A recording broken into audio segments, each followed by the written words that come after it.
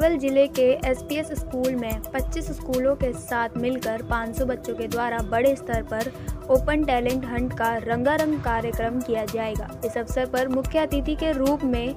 नगराधीश विजा के द्वारा प्रथम, द्वितीय, तृतीय श्रेणी में आने वाले बच्चों को एसपीएस इंटरनेशनल स्कूल के द्वारा बच्चों को प्रोत्साहित भी किया जाएगा।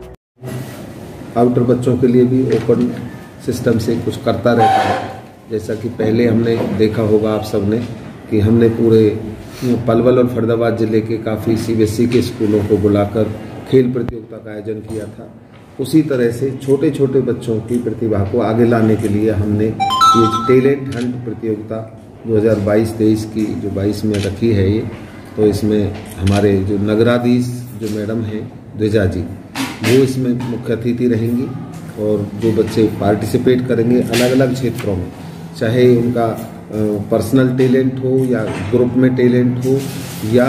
गाने का, क्ले उसका क्ले मिट्टी से जो कुछ न कुछ बनाते हैं बच्चे और बेबी शो जैसे दो से चार साल के बच्चों के लिए बेबी शो जो छोटे छोटे बच्चे हैं, अपने बच्चों को भी लाकर वो पेरेंट्स उनको यहाँ करेंगे तो उनको सभी को जो फ़र्स्ट सेकंड थर्ड आएँगे, उनको सम्मानित किया जाएगा बच्चों को। और जो बाकी बच्चे जितने भी 500-600 के लगभग उम्मीद है कि पार्टिसिपेंट्स यहाँ हैं। ऑनलाइन भी आए हैं रजिस्ट्रेशन और बाई स्कूल भी थ्रो स्कूल भी यहाँ पहुँचे हैं। तो लगभग 500 प्लस बच्चे तो लगभग हमारे पास रजिस्टर्ड हो चुके हैं, जो इसमें भाग ले रहे हैं, और उनके पेरेंट्स भी उनके साथ आएँगे।